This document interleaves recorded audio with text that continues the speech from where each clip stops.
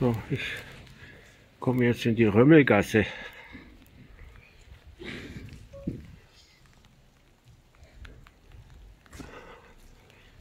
Hier sind acht Stolpersteine.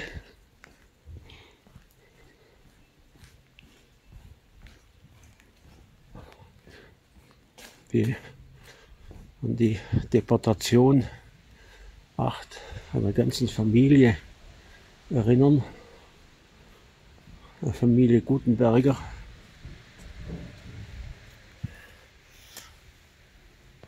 Jahrgang 1931, 34, 1892, 1893, 1900.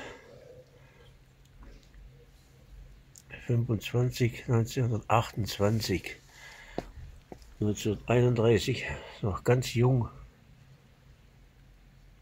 Alle wurden abtransportiert nach Auschwitz.